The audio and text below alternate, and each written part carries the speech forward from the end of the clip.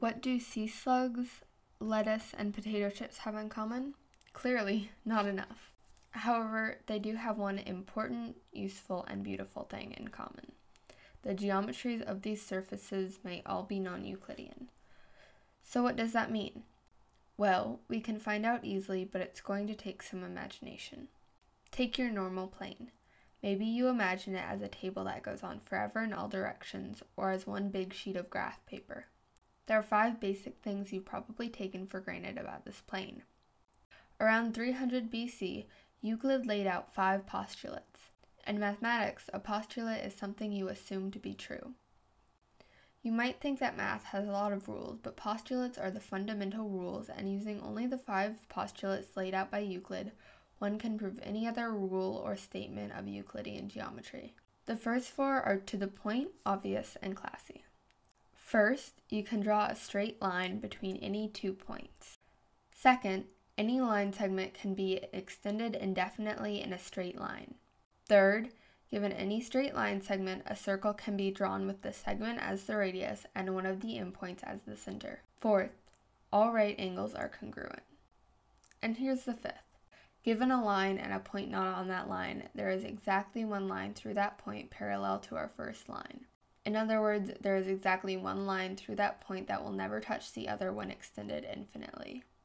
The thing is that this is much less elegant than the other four, and because of this, mathematicians have sought to prove it using the other four rules, which would make the last rule not a postulate, but a theorem. A theorem is a true statement in mathematics that can be proven using postulates and other theorems.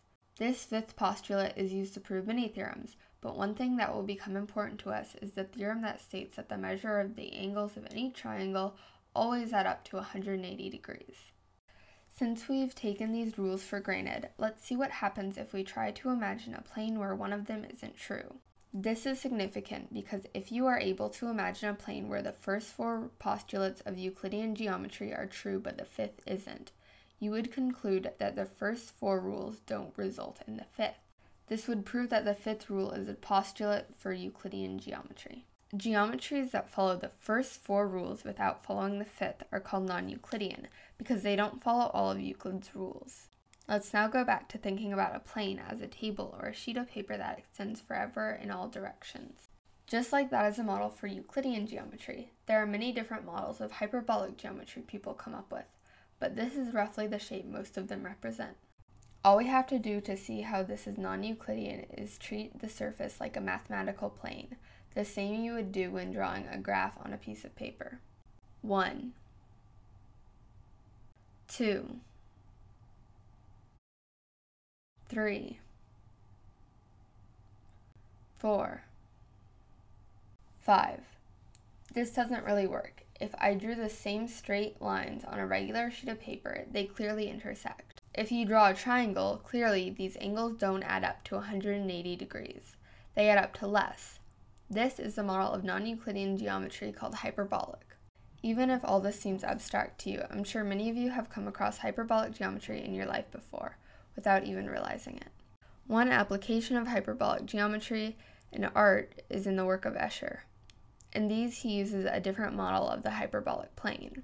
Plants and animals take on forms reminiscent of hyperbolic geometry. Sea slugs, lettuce, algae, shells, snails, kelp, nudibranches, jellyfish tentacles, coral, and many other surfaces in nature imitate the hyperbolic plane. Which is to say, if you treated it as a plane, it would satisfy the first four rules without satisfying the fifth. Complex networks like computer networks, technological networks, brain networks, and social networks like internet seem to follow hyperbolic geometry. It also has applications in turbulence and in Brownian motion, which is super cool.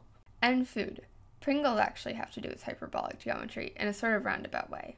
They are shaped like hyperbolic paraboloids. If you were to zoom in on a single point on the hyperbolic plane, the area around it would look like a Pringle. One thing that's really important to realize is that mathematics seems to be completely abstract, but instead it has many applications to the real world, but sometimes it takes us many years to recognize it. My point is that you shouldn't go on thinking we live in a purely Euclidean or purely non Euclidean world.